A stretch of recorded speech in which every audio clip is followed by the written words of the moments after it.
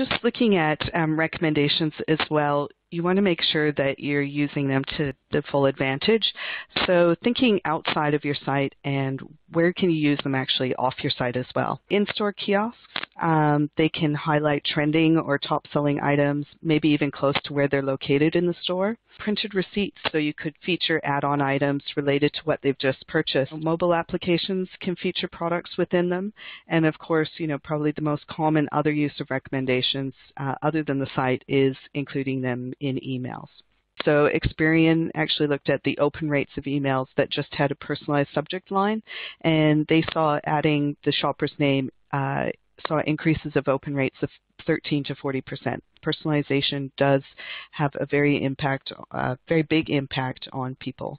Um, so now when you have your recommendations, you want to make sure that you are measuring um, how they are working on your site and looking at that over time as well.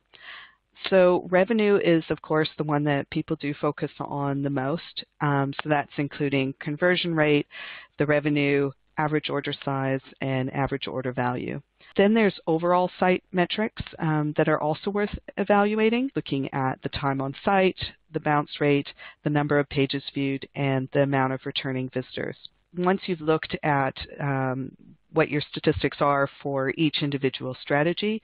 You do want to make sure that you uh, are completing the loop, so identifying again those aims that were critical to your business and seeing, thinking about that in terms of what strategies you're using and testing out new ones this was just to, to highlight an example of what we saw with one of our customers, Michael C. Fina. Looking in the first 60 days, uh, an average of about a third of their customers who saw the recommendations were clicking on at least one of the products shown. This is another customer of ours, Footwear Etc. Uh, so they've done a really good job uh, on the checkout page, just mapping product types to the various accessories and also not just that, but ensuring there's really a mix of products and they're really clear, uh, you know, in their title as well, that the products shown are based on what is in, actually in the cart.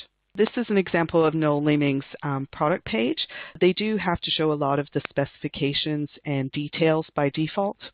Um, so rather than putting the recommendations underneath all of that information and near the bottom of the page, they've made them vertical here to get them as high on the page and as visible as possible.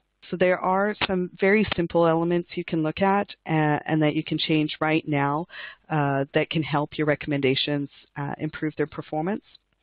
Uh, you do want to focus on the experience um, versus algorithms and data, um, and you want to make sure that it makes sense for the shopper at every single point in their journey.